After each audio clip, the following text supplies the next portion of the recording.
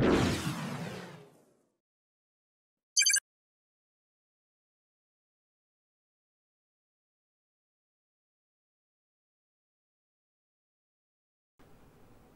everybody, Jose Rodriguez back again. I hope that you guys were able to see my video where I showed you uh, how to use QImage to produce, or Lightroom even, to produce a print, a test print containing both the black and white or monochrome and the full color standard image.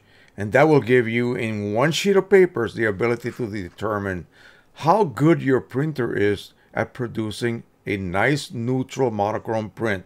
Now be aware, like I said in the video, that you may have a bit of a cast regardless of how good your profile is. Papers have a color to their paper base. So in the case of very artsy, uh, no OBAs at all, meaning optical brightening agents, a lot of these fiber-based papers, they have a warmish tone to them. So on their very own, they will impart a slight warmth to your finished print. So if you're printing something absolutely dead on neutral, at least from your screen's perspective, they may have a slight tint. Now you're able to, in most Epson and most Canon printers, especially the higher end units, you should be able to access black and white mode or advanced black and white on Epson and manually adjust that ever so gradually to remove any bit of global warmth or coolness for that matter. It depends on your paper. Every paper will have a different look, if you will. So let me show you what that looks like. Double print right on one sheet of paper. And on QImage is easy. Just go to print, choose 5 by 7 Say you're using a letter size paper, choose 5 by 7 and load one of each. In fact, if you choose 4 by 5 you can probably load four different types of standard images. If you're wondering where to get those, join my Facebook group. There's there's a lot of people there that are willing to also help you. I hardly ever have to stick my finger into the uh, mix, if you will, because so many people are helping each other, and that's what I wanted to create. But there you will find, once you are accepted, and please answer the questions. And I'll tell you right after I get done with this what I am getting recently, which is really a little bit odd. So get accepted and then go to the Files tab. And in that Files tab, you will find many types of files that you can download, including a big batch of these images, or you can download them individually. I also have ICC profiles and other things that you can download and use. Absolutely free, there is no charge. So when people are applying, this is just for your information. I know that you guys are not going to do this, but I guess because I'm getting a certain level of notoriety, I'm getting a lot of spam. And so a spam applicant usually will have a very strange foreign sounding name, which you have to wonder is that a real name?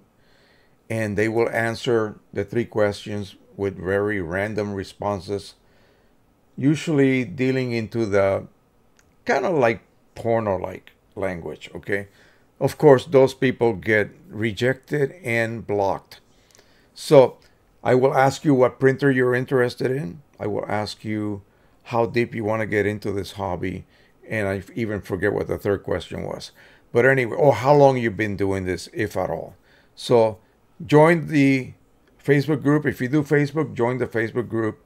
And that way you will be able to have access to, again, the large community that I am building, over 7,000 viewers or members at this point and also that files tab which you can then access and download whatever you wish and I occasionally will upload new files as I come across them. So that is it. Again, do this. Don't spend two sheets of paper in order to determine whether your printer can produce a color print that matches this. And again, don't judge me by what you're seeing here. This is perfectly neutral. I'm trying to dial in the white point on my camera now that I got another light here and trying to get that dialed in so that we can get as neutral a result as possible. But if you look at this, in my viewing uh, light setup in the back room, neutral, they're on neutral. So the idea, the goal, of course, is if you can get this to be neutral and this to be neutral, why the heck can't you get your images to look neutral? And that is sometimes a struggle because there are some factors involved.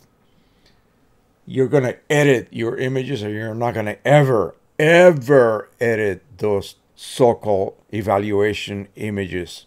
You cannot. They are standardized. They are perfect to begin with. They require zero editing. The idea then is going to be you want your monitor to match that result. And once you get that, as you are viewing that, you're prepping those images to be printed, and you print it, leave your leave your application open, and then you're going to compare this as you're looking at it to what you see on your screen. It has to match. If it doesn't match, then your screen needs to have a certain adjustment through calibration once again it might end up being your white point may have to be adjusted up or down. Up will make it cooler, down will make it uh, warmer, with D65 or Delta 65 being daylight. Okay, so keep that in mind. Match that to this perfect output, and you're good to go. From now on, whatever you edit, you can actually trust what you're seeing. Otherwise, you cannot trust what you're seeing. And if you cannot trust what you're seeing, how can you edit it? Right? You're you're editing, but you really have no clue what you're editing because it might be slightly off. And then your results are going to reflect the actual condition of the image you're sending to the printer, not what you're seeing on your screen. You see, you follow me? So print that standard image, both of them if you want to, and then make sure your screen matches that. Remember, you're not altering those images. Okay? That is it for now. Thank you so much. And don't forget to subscribe, share, and like. And as always, happy printing, everyone. Bye-bye.